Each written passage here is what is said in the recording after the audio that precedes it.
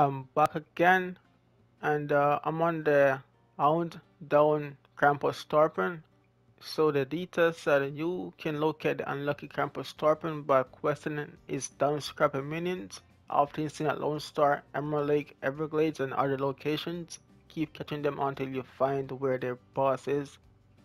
To attract these fish star Santa's jukebox or feed them with mega cookie ground bait, cast them with your hand Dunce crappies are especially fond of cookies with milk and they won't say no to some ginger cookies. It's practically the same thing as the other one I just did. So let's get on to fishing. And uh, I will be going to Lesni Vila because I was catching tons of crappies there and oracles. So let's continue. Okay guys, I've decided to leave Lesni Vila and go to Lone Star for the crappies.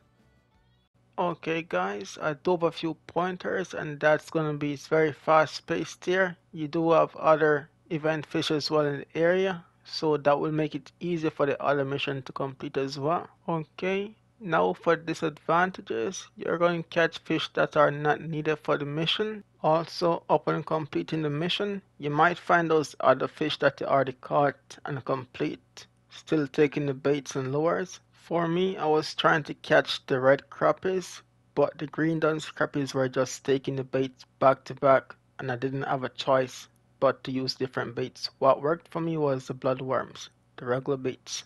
Other than that, it was smooth sailing and straightforward. So hope this video or guide was helpful and I will see you guys in the next ones.